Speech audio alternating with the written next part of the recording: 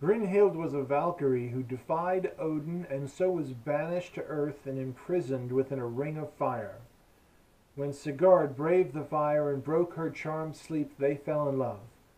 He gave her his ring, Andvaranaut, unaware of its curse. On his travels, he was bewitched by Grimhild in betraying Brynhild, first by marrying Gudrun and then by helping Gunnar win Brynhild. On discovering Sigurd's betrayal, Brynhild planned his death, but then killed herself in despair. Hey, thanks for watching Late Night Mythology. Click subscribe, share us with your friends, check out the website, tribalsoupproject.com.